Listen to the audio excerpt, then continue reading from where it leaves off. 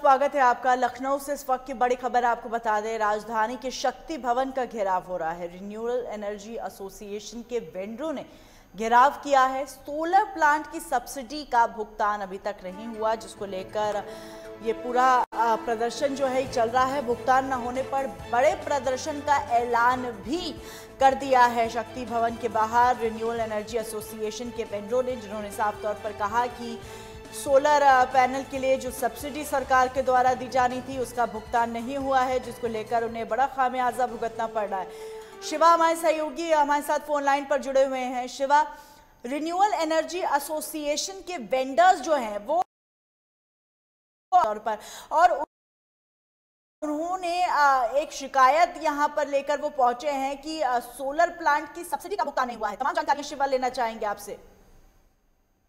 देखिए हिना, ये वो लोग हैं जिन्होंने उत्तर प्रदेश के अलग अलग जिलों में सोलर प्लांट का काम किया है। लोगों के घरों में सोलर प्लांट लगाए हैं, कई केवीओ के। लेकिन आरोप यही है कि ऊर्जा विभाग जो नोडल अफसर था, जो नोडल एजेंसी थी, इस पूरे मामले में सोलर प्लांट को लेकर के उन्होंने तकरीबन इकहत्तर वेंडरों का दो साल से भुगतान नहीं किया और ये राशि बढ़ करके सत्तर करोड़ रुपए की हो गई है। लिहाजा इसी बात को लेकर के उन्होंने कई बार यूपी सीसीएल के उच्च अधिकारियों को, प्रमुख सचिव को कई बार पत्रावलियों के ज़रिए रिमाइंडर भेजा, लेकिन उनकी राशि अभी तक भुगतान नहीं हो पाई, जिससे कहा जा सकता है कि न सिर्फ़ वेंडरों का बल्कि उपभोक्ताओं की भी जो सब्सिडी है, वो बकाया राशि है और यूपी सीसीएल के ऊपर एक बड़ा कर्ज है। तो ये उन्होंने आरोपी लगाया है कि यूपी सीसीएल के जो तमाम अधिकारी है, कई रिमाइंडर के बाद जिन्होंने जवाब नहीं दिया, इसमें एक बड़ी भ्रष्टाचार की संलिप्तता हो सकती है। लिहाजा इस पूरे मामले की हाई लेवल जाँच कराई जाए। खुद ऊर्जा मंत्री के ऊपर भी जाँच बैठक खुलासा हो कि सत्तर करोड़ रुपए जो अब तक दो साल में भुगतान नहीं हो पाया है, वो आखिरकार किसकी वजह से फंसा हुआ है? एक उन्होंने ये भी कि आने वाले समय में अगर इस राशि का भुगतान नहीं हुआ, सब्सिडी के तौर पर जो ऊर्जा विभाग की तरफ़ से अच्छी हुई है तो ये आने वाले समय में एक बड़ा प्रदर्शन करेंगे और साथ ही साथ ये लोग की दिवाली की कमाई है। अगर दिवाली से पहले ये उनको अगर भुगतान राशि नहीं मिली तो इन लोग की दिवाली बेकार चली जाएगी और ये दिवाली सूनी रह जाएगी। तो इस पर बड़ा ऐलान का भी प्रदर्शन किया है और वेंडरों का साफ़ तौर से कहना है कि राशि जल्द से जल्द मिलनी चाहिए और यूपी पीसीएल और जो यूपी नेता है, जिस पूरे मामले में नोडल एजेंसी बनाई गई है, इसकी पूरे मामले की हाई लेवल जाँच होनी चाहिए।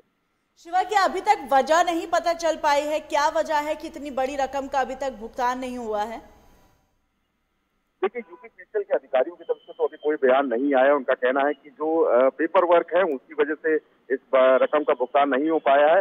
लिहाजा वेंडरों की तरफ़ से जो साफ़ तौर से कहना है कि इस रकम में हेरा फेरी की गई है। कई बड़े अधिकारियों की तरफ़ से ये संलिप्तता है और जो भी संलिप्तता है जाँच में सीधे सामने आएगा, लेकिन जाँच हाई लेवल तरीके से ना हो पाए। तो पहली तो मांग उनकी यही है कि जो उनका जो बकाया राशि है, उनको दी जाए और पूरे मामले की जाँच भी की जा सके, ताकि आगे कभी भविष्य में ऐसा किसी के साथ ना हो जो आज इनके साथ वर्तमान में हो रहा है। बिल्कुल, तमाम जानकारियों के लिए शुक्रिया आपका।